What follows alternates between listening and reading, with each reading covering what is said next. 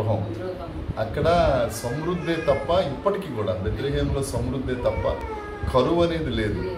దేవుడు కావాలని బెత్లహేములో కరువు తీసుకొచ్చి అక్కడ అందరూ చచ్చిపోతుంటే ఈవిడ ఒక్కతే షిఫ్ట్ అయింది. అది. అందులోని ఎక్కడికి షిఫ్ట్ అయింది? మోయాబుకి షిఫ్ట్ అయింది. మోయాబు అంటే అది అసలు దేవుడు శపించిన ప్రదేశం. షిఫ్ట్ అయిన తర్వాత ఏం జరిగింది? వెళ్ళారు బాగానే ఉంది. కొడుకులు ఇద్దరు పనిచేస్తున్నారు ఈ రూత్ అన్న ఆవిడ మోయాబు యొక్క రాజు గారి కూతురు. రాజు గారి కూతురు. రాజు. పూజారి పూజారి రాజు గారి కూతురు. అక్కడ దేవాలయంలో పనిచేస్తున్నప్పుడు ఈయన మెడలో ఒక పెండెంట్ ఉండేది. ధర్మశాస్త్రం తాలూకా పది ఆజ్ఞల తాలూకా పెండెంట్ ఒకటి ఉండేది. అది చూసి ఆవిడ పిలుస్తుంది రూతు. బాబు ఏంటదని అంటే ఇతను కూర్చుని చెప్తాడు వివరం చెప్తాడు మా దేవుడు ఇలాంటి వాడు. మా దేవుడు సైన్యంలోకి అధిపతి. ఇవంతా చెప్పిన తర్వాత ఆవిడ ఈ దేవుని యొక్క ఔన్నత్యానికి అట్రాక్ట్ అవుతుంది. ఆసక్తి చూపుతుంది. ఇక రోజు వీళ్ళకి దేవుని గురించి చర్చించుకోవడమే కార్యక్రమం.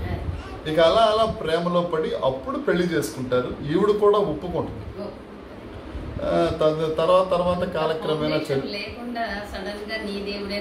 అని అనదు. అనదు అనదు. అసలు ఆవిడ రూతు చాలా తెలివి కలిగింది. చాలా దాన్ని అన్వేషణ చేస్తుంది. దేవుని గురించి చాలా తెలుసుకుంటుంది. ధ్యానిస్తుంది దేవుణ్ణి. తర్వాత వాళ్ళ దేవతలను పక్కన పెట్టి యహోవా దేవుణ్ణి పూజిస్తుంది. భర్త తర్వా- రాజకుమార్తె అయినా ఈవిడ బానిస కొడుకైనా బానిస అయినా ఇతనికి అడిగేమడిగి ఉంటుంది ఇక అందుకనే వచ్చేసేటప్పుడు ఈ మా ఈ మాట చెప్తుంది. నీ దేవుడే నా దేవుడు. నువ్వు ఎక్కడ చచ్చిపోతావు నేను ఎక్కడ చచ్చిపోతాను.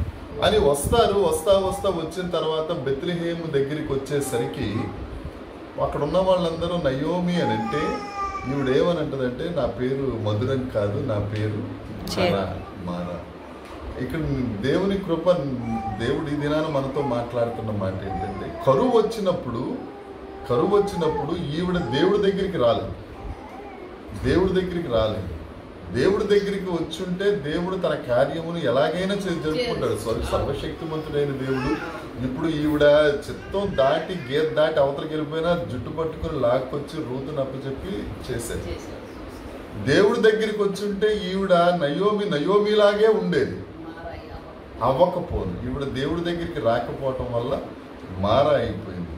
ఇంకొక మారా ఉంది బైబిల్లో. నిర్గమాకాండము పదిహేనవ అధ్యాయము ఇరవై రెండవ వచ్చిన నిర్గమాకాండ గ్రంథము పదిహేనవ అధ్యాయము ఇరవై రెండవ వచ్చిన వారు ఎర్ర సముద్రాన్ని దాటి ఎర్ర సముద్రం నుండి జనులను సాగజేయక ఆ. వారు షూరు అరణ్యంలోనికి వెళ్ళి వెళ్ళి దానిలో మూడు దినములు నడిచిరి. నడిచారు. వారికి నీళ్ళు దొరకలేదు. నీళ్ళు. అంతలో వారు మారాకు చేరి మా ఆ, చాలు. మారాకు చేరారు. అక్కడ ఆవిడ మారా అయిపోయింది. మధురం ఏమైపోయింది? ఎందుకని? దేవుడి దగ్గరికి వెళ్ళలేదు. దేవుడి దగ్గరికి వెళ్ళాలి ఇక్కడ ఏం జరిగింది అని అంటే ఐగుప్తులో ఉన్న రామసేస్ అనే దగ్గర నుంచి ఈ ఇస్రాయేలీల ప్రయాణం మొదలైంది.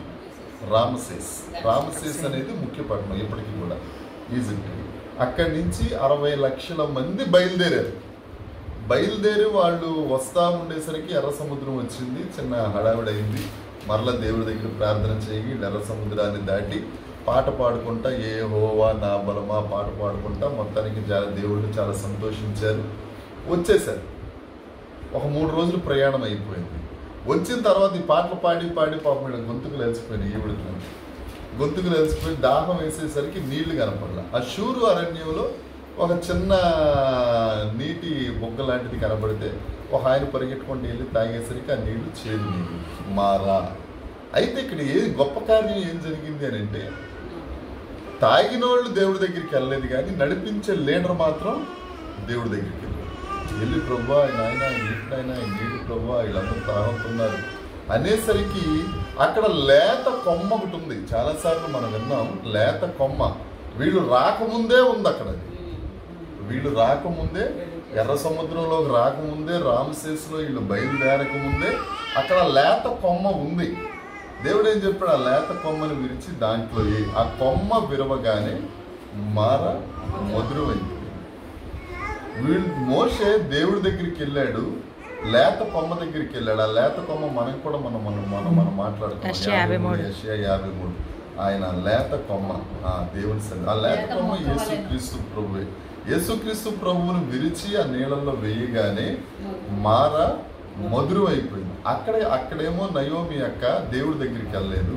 ఇక్కడ ఈయనేమో దేవుడి దగ్గరికి వెళ్ళాడు. అందుకనే నూట మూడవ కీర్తన పదిహేడవ వచనం పద్దెనిమిదవ వచనం సార్ నూట మూడవ కీర్తన పదిహేడవ వచనం పద్దెనిమిదవ వచనం. ఆయన నిబంధనలు ఆయన నిబంధనను ఆయన నిబంధన ఒక్క మీద. నిమిషం ఇక్కడ. ఆయన నిబంధనను గైకొనుచు ఆయన కట్టడలను అనుసరించి నిబంధన అనగా ఏంటి? నిబంధన. ప్రమాణం. ఇప్పుడు మీరు చెయ్యండి. ప్రమాణం. నేను నిన్ను ప్రేమిస్తానని నేను కూడా ప్రేమిస్తానంటూ అని అంటాడు. అంటే ఇద్దరికి మధ్యన ఉండాలి. అంతే కదండి ప్రమాణం అనేది? ఇప్పుడు నిబంధన అనేది దేవుడికి మనుషులకి జరిగింది. దేవుడు ఏమన్నాడు? నేను నీతో ప్రమాణం చేస్తున్నాను. ఏ రోగం మీ దగ్గరికి రాదు. మీ మారా జీవితాన్ని మధురంగా మారుస్తాను అని ఆయన ఏం చెప్పాడు? నా కట్ కట్టడలను నీవు. నడుచుకోనాలి. మనం దేవుడి దగ్గరికి వెళ్ళినప్పుడు ఆ పద్దెనిమిదో వచనంలో ఉంటది. పద్దెనిమిదో ఆయన కృప నిలుచును. ఎక్కడ- ఎలా ఉంటది? ఆయన కృప యుగ యుగాలు ఉంటది. ఆయన నీతి పిల్లల పిల్లల తరముల వరకు. ఉంటది. దేవుడు మనతో ప్రామిస్ చేశాడు. ఆయన నిలబడతాడు. ఆయన నిలబడతాడు కదా. ఆయన మారడు. ఆయన మార్పు లేని దేవుడు నమ్మదగిన దేవుడు వాగ్దానం ఇచ్చి నెరవేరు. మారేది ఎవరు? మనమే. నయోమిలాగా మనం మారిపోతూ. మారిపోయినా కానీ మన నిబంధన ఆయనకు మనతో చేసిన నిబంధన ఆయన గైకొన్నట్లు మనం కూడా గైకొని ఆయన కట్టడల ప్రకారం నడిచిన ఎడల. ఏంటి కట్టడ? పెద్ద పెద్ద ఆజ్ఞలు ఏముండవు రోజు ప్రార్థన చేయాలి. రోజు వాక్యం చదవాలి. రోజు క్రమశిక్షణ కలిగి సత్ప్రవర్తన కలిగి ఆయన ఎదుట మనం నిందారహితంగా జీవించాలి. ఆయనను ప్రచ ప్రచురించాలి. ఆయన చెప్పాలి. ఈ నాలుగు ఇంపార్టెంట్. దైనందిన జీవితంలో ప్రార్థన చేయాలి. వాక్యం చదవాలి నమ్మాలి ఆయన ప్రచురణ చేయాలి. ఇవి చేస్తున్నప్పుడు ఆయన కృప మన మీద ఉంటా ఉంటుంది మనం మారాగా మారుతూ ఉంటాం. పాపులు ఎందుకంటే జన్మతహ పాపులు కర్మతహ ఏదో రకంగా ఆలోచనలోనో చూపులోనో అట్రాక్షన్లో ఏదో ఒకటి. ఎంత పెద్ద వయసు వాళ్ళకైనా చిన్నది ఉంటుంది. చిన్న ఉంటుంది పాపం ఉంటుంది. అది ఆ పాపం ఎప్పటి వరకు ఉంటుందంటే మనం పుడకంలో కలిసేంత వరకు ఉంటుంది. ఆ మార వస్తా ఉంటే ఈ కట్టడలను అనుసరించినప్పుడు ఆ ఆజ్ఞలను గైకొన్నప్పుడు ఈ మారాని దేవుడు మధురంగా మార్చేస్తాడు. అది నయోమి చేయలేదు మోషే చేసేది అప్పుడు ఆ కృప మన మీద అధికం అవటమే కాదు ఆ కింద మాట అది చెప్పొచ్చింది. మన నీతి మన పిల్లల పిల్లలకు పిల్లల పిల్లల తన దేవుడు ఏదో ప్రణాళిక లేకుండా మనల్ని అయితే ఇక్కడ కూర్చోబెట్టలేదు. దేవు ఏదో ప్రణా ఏదో ప్లాన్ ఉంది దేవుడు ఆ ప్లాన్ మనం ఇలా కూర్చోవాలి ఇలా దేవుని వాక్యం చెప్పుకోవాలి లేకపోతే ఇంకోటి చెయ్యాలి అని అంటే అక్కడ పప్పీస్ లాంటి తప్పుకోవాలి. లేకపోతే మనం రాం. ఏదో ఒకటి చెప్తాం ఏదో అప్పటికే మనకి ఏదో ఇబ్బంది వచ్చేస్తుంది. ఇప్పుడు నేను అనుకోండి సరే అన్న ఫీలింగ్ వస్తూ ఉంటుంది లేకపోతే రాత్రి. వీళ్ళందరూ పడుకున్న తర్వాత ప్రార్థన చేయాలి కానీ నేను ఈ ఇంత మెడిటేషన్స్ కానీ ఇలా ఇవన్నీ చేయి మనల్ని ఇక్కడ చేర్చాలి ఆయన మన మధ్యన ఉండి అంటే దేవుడికి ఎంత ప్రేమ అంటేనండి ఆయన వస్తున్నప్పుడు కూడా అదే. మనల్ని ఇలా కూర్చోబెట్టి ఆయన మనలో ఉంటాడు ఇక్కడ. దేవుని స్తోత్రం మనల్ని కూర్చో కూర్చోబెడతాడు మనతో ఉంటాడు అట్ ద సేమ్ టైం అక్కడ యుద్ధం చేస్తాడు. ఎక్కడ? మన పప్పి దగ్గర యుద్ధం చేస్తుంటాడు తప్పకుండా మనం మనం ఇక్కడ నిలబడి మనం ప్రార్థన చేస్తా ఉంటే అక్కడ యుద్ధం జరుగుతుంది. రాత్రి కారు తోలుకుంటా వస్తుంటే పప్పి కోసం ఎందుకో ఆలోచన. వాళ్ళు అక్కడ దింపేసేసి ఒక్కడే వస్తూ ఉంటే ఒక్కతే ఉంది ప్రభు ఎలా ఏంటి సంగతి? అంటే ఎలిషాని గైజీని గుర్తు చేస్తున్నాడు దేవుడు. సిరియా సైన్యం అంతా వచ్చేసి వీళ్ళ చుట్టూ చుట్టూ ఉండిపోయారు.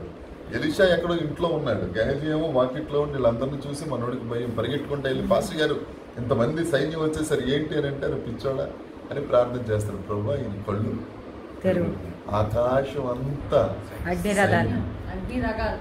అక్కడ పప్పి ఒకతే ఉంది. నాకు భలే బాధ అనిపించిందండి వాళ్ళు వేస్టర్కి చర్చికి తీసుకెళ్ళి నువ్వు సినిమాకి వస్తావా రావా అని అంటే అసలు ఏందన్నమాట? ఎంత హంటింగ్గా ఉంటుంది ఊరికా ఊరిలో ఫ్రెండ్స్ అనుకున్న వాళ్ళు అయినా దేవుడు నిలబడింది. అందుకని భయం లేదనిపిస్తుంది. అవును. అది మన అదే దేవుడు లెక్కలోకి తీసుకుంటాడు అక్కడ. వాళ్ళందరూ ఎంతో పాపం అవును. ఏడిపించారు చేశారు మాట అది అంతా భరించింది. మనం ఏదో ఊరికే ఉన్నామనిగా మనం మాటలుగా చెప్పుకున్నాం కానీ ఆ సిచ్యుయేషన్లో నిలబడి దాన్ని ఫేస్ చేయటం అనేది భలే పెయిన్ అది. అది అది దేవుడు చూస్తాడు. అందులో వయసులో ఉన్నది. ఐజీ చుట్టూ అంత సైన్యాన్ని ఉంచిన దేవుడు నిశ్చయంగా పప్పి చుట్టూ తన దూతల కాపలా ఉంచుతాడు. ఉంచాడు ఆల్రెడీ ఉంచాడు.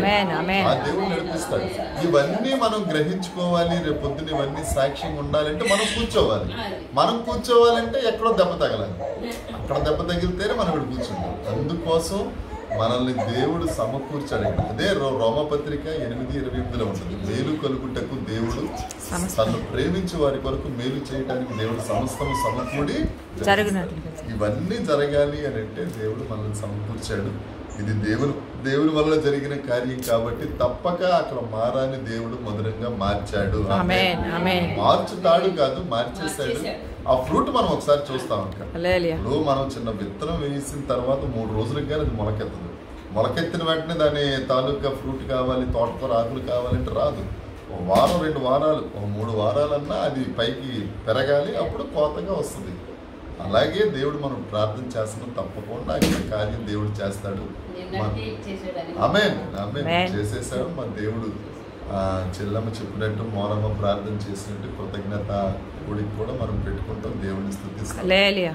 అది సాక్ష్యంగా ఉండిపోద్ది అది. ఎక్కడి వరకు ఉంటుంది అని అంటే మీ లాస్ట్ డేస్ వరకు ఉంటుంది. మా లాస్ట్ డేస్ వరకు ఉంటుంది. మీ లాస్ట్ డేస్ వరకు దేవుడు ఇంత గొప్ప కార్యం చేశాడు. నేను ఇన్ని కష్టాలు కూడా వచ్చాను రా అని అప్పుడు ఆ కర్ర పట్టుకుని ఆవిడ కూడా ఒక పిల్లలకి చెప్తుంది. చెప్తుంది. అదే మాట. నా నీతి పిల్లల పిల్లల తరాల వరకు ఉంటుంది. ఈ కార్యం చేస్తున్నామున్న పిల్లల పిల్లల తరముల వరకు ఉండును గాక. చేసుకుందాం. దేవునికి స్తోత్రం.